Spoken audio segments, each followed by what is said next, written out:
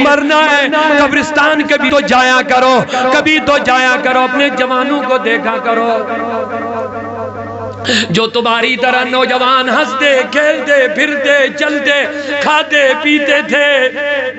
कहा है आज की वो खूबसूरती? कहा है उनकी वो जवानी? जरा कब्रिस्तान जाके उनसे पूछ तो लो लोगो। उनके मज़े खत्म हो गए हैं, उनकी नींदें खत्म हो गई हैं, उनका आराम खत्म हो गया है। मेरे नबी ने जो दिया, वो ले लो।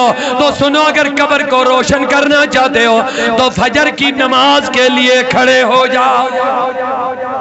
वाला तमुदुन्ना अल्लाह कहता मरना तो ज़रूरी है तुम कहीं भी हो कई हालत में भी हो अमीर हो गरीब हो बीमार हो सेहतमंद हो छोटे हो बड़े हो मरना तो किसी भी हाल में लेकिन वाला तमुदुन्ना इल्ला व अंतुम मुस्लिमून।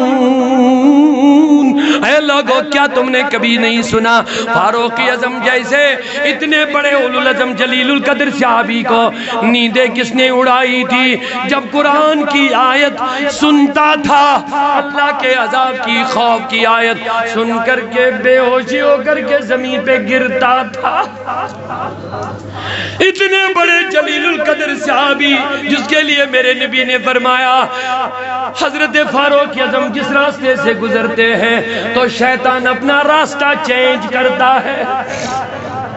इतने बड़े मकबूल आला दर्जे के सहाबी, जब कुरान की कोई अल्लाह के खौफ की, अजाब की आयत सुनते थे तो गिर जाते थे।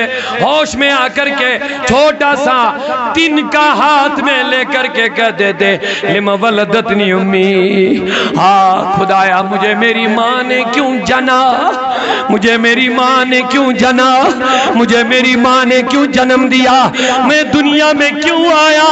काश में ये दिन का होता तो कब्र का हिसाब किताब मुझे नहीं देना होता।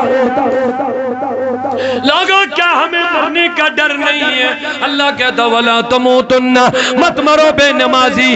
अगर बेनमाजी हो के कब्र में गए तो सुनो मेरे नबी ने दिया क्या? खुदू माता कुमर रसूल माता कुमर रसूल फखुजू जो रसूल ने दिया वो ले लो। तो मेरे नबी ने फरमाया, जब बेनमाजी कबर है, कबर बजबान हाल इस बदनसीब के साथ बातें करना शुरू कर देती है।